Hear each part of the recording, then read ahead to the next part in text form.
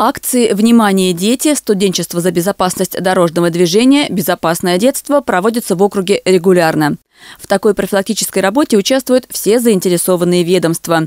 При этом за прошлый год комиссия по делам несовершеннолетних и защите их прав получила 215 сообщений о чрезвычайных происшествиях с детьми. Зафиксировано 15 случаев наезда на ребенка во дворах, в том числе 5 в позднее время суток.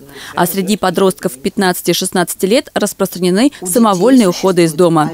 Есть и те, кто прогуливают школу и проводят свое время на улице. У нас 480 семей таких, которые стоят у нас на учете, которые действительно очень требуют помощи как и со стороны всех субъектов профилактики, так и со стороны да. врачей, психологов, врачей, наркологов. Вот. И вот зачастую такие дети тоже оказываются никому не нужны и остаются безнадзорными. Сегодня в муниципалитете проживает около 100 тысяч несовершеннолетних. На контроле в окружной комиссии порядка одной тысячи семей в социально опасном положении, а также детей и подростков, которые состоят на учете в КДН.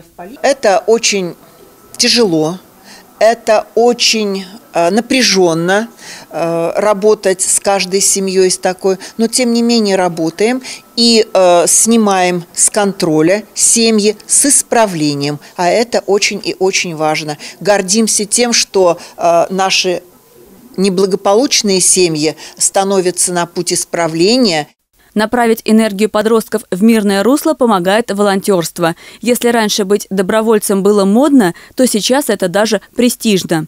Ежедневно волонтерский штаб в Одинцовском молодежном центре посещают около 20-25 активистов в возрасте от 14 до 18 лет. В последнее время в связи со сбором гуманитарной помощи число волонтеров возросло. Привлекают и ребят, состоящих на учете в КДН. Они берут пример с них, охотно приходят, то есть они общаются, у них находят общие э, между собой интересы, да, и э, уже приходят к нам на постоянной основе, как домой. Э, очень положительная история, потому что многие не знают, что есть такое, да, мы показываем, что это, что делать добро, это, это хорошо.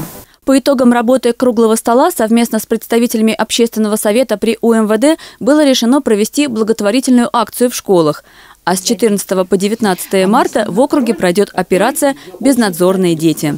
Наталья Гончарова, Артем Ломоносов, телекомпания «Одинцова».